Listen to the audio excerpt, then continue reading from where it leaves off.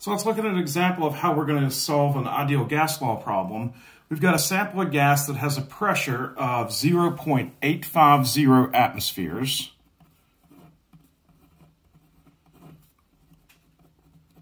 It has a volume of 1.25 liters.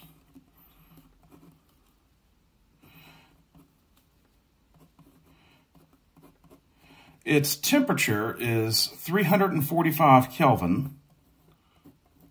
And we're asked how many moles of gas are present. And our value for the gas constant is 0.0821 liter atmospheres over mole Kelvin.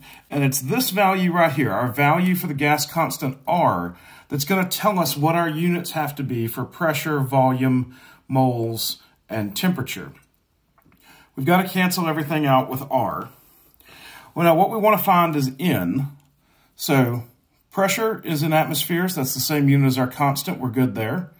Volume is in liters. That's the same unit as our constant, so we're good on volume. Temperature, already in Kelvin. It's the same unit as our constant, so we're good there. And N is going to wind up in moles because that's the unit that's in our constant. So when we solve for N, we're going to get PV over RT will equal N. And so now we can substitute our terms in.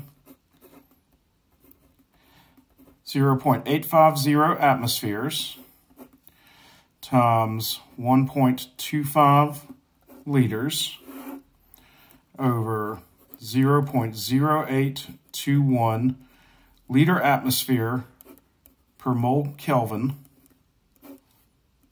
and lastly, we'll multiply by our temperature, 345 Kelvin, and all of that will equal N. So we see that our Kelvin cancels here, our liters cancel, our atmospheres cancel, and because moles is in the denominator of the denominator, it's going to wind up in the numerator after we do all of the division.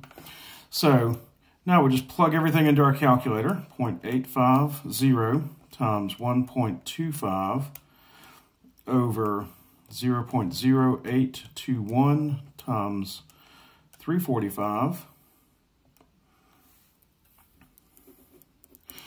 N will equal 0.0375